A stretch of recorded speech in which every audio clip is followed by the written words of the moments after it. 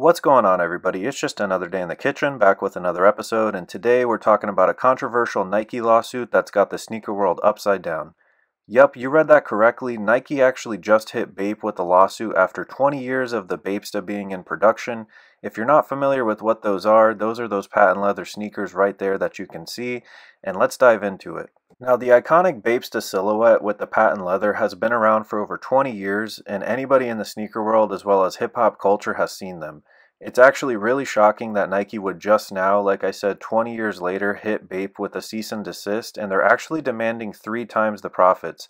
But unfortunately, it's not the first time we've seen Nike go after creators. Just last year, Nike hit content creators Kool Kiy and Omi with separate trademark infringement lawsuits claiming that their sneaker creations were way too similar. I'm about to put them up on the screen for you to judge, but basically, per the lawsuits, they're saying that these brands have been knocking off and cheapening the Jordan brand. And honestly, I kind of get where they're coming from, just in the sense that both Kool Kiy and Omi are using the same silhouettes, etc. However, with the success of Bape over the last 20 years, it made me question how was Bape allowed to get away with it? And we're going to kind of take a look at that right now. And just for example's sake, in terms of the trademark infringement, I did want to point out that you can copy up to a certain extent. You do have to change certain features, but like you can see, Nike is basically claiming that all of these creators are straight up copying. Now, one point that Omi did bring up, which I agree with, is why is Nike not going after Mike Amiri and the Amiri brand? Just because you can see those Amiri ones are very similar to Air Jordan ones, but that's another conversation, and let me know what you guys think. Now, in order to understand why the Bapesta was so legendary and the iconic silhouette is still around 20 years later from now, we have to go back to the early 1990s. Nigo had just moved to Tokyo and was a young and budding DJ who was super influenced by hip hop culture and he was super into fashion. He also knew that by creating a limited amount of pieces every time he dropped, it would give off the illusion that he had a high fashion brand on his hands, just like the brands that he looked up to would do.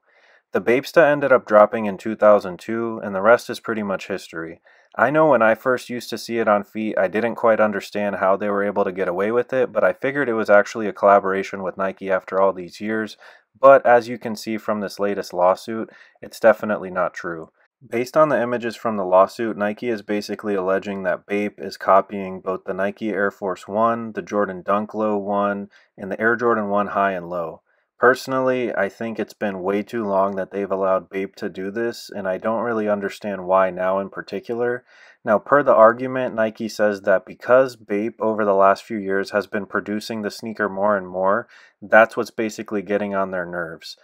It's kind of it's kind of ironic that Nigo was able to operate under the radar over the last 20 years because the drops were so limited, and now because Bape is more popular than ever, that's basically why Nike's going after them now.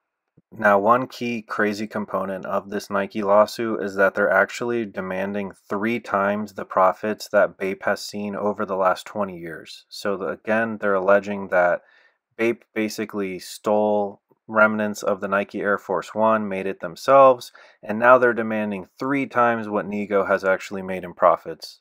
Now, I think it's a big shame that Nike has decided to go after him just because his legacy is undeniable, and ever since he clicked up with Pharrell and Kanye in the early 2000s, the influence of Bape has never stopped. As you can see, he was super in with them from an early onset, and even after linking up with Jacob the Jeweler, the jewelry game has even never been the same. Nigo, like I said, has been super influenced by hip hop, and I think it's dope that he was able to find a way to also leave an imprint as well as a lasting legacy. And for those of you that didn't know, even Biggie had his hands on this Bape uh, hoodie right here. Now, personally, some of my earliest memories of anybody wearing Bapes were on Lil Wayne himself right here back in like the early 2000s and mid 2000s. I even had the MySpace layout that was dedicated to the Bape camo. And of course, I couldn't do anything without mentioning Soulja Boy, who of course had the song Bapes. And like I said, Bapes were literally a force to be reckoned with, whether they were the Bapestas on feet or the camo hoodies, somebody had them on. Now, one thing I think is also curious, um, just over the next coming weeks, is the fact that Bape in their history have also collaborated with brands like Puma and Adidas. So I wonder if those brands are also going to be stupid like Nike and try to hit them with something. Those may have been official collabs, so I'm not too sure.